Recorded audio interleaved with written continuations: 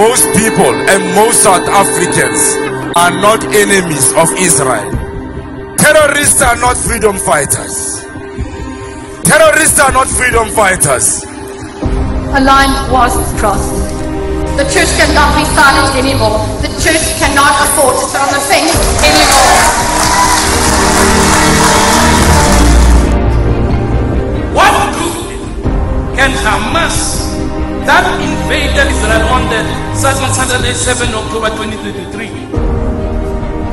An organization that kidnapped innocent women and children, raped some of them, killed others, including the elderly. What can they do for this country? Absolutely nothing. I say absolutely nothing.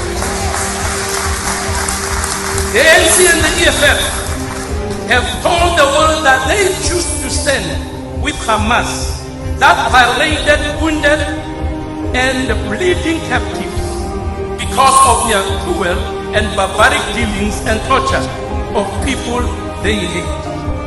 Today I'm saying, and all South Africans who choose love over hatred, peace over war, humanity over barbarism, that we believe and we declare without any shadow of doubt that without Israel, South Africa will never reach its highest potential.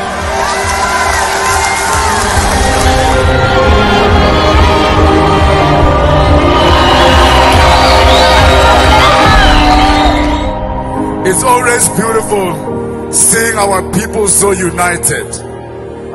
Light chasing after darkness. For the sake of Zion, we won't be silenced. For the sake of Jerusalem, we won't be silenced.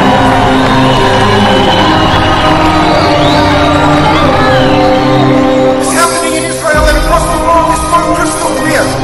Never been a demarcation of good and evil.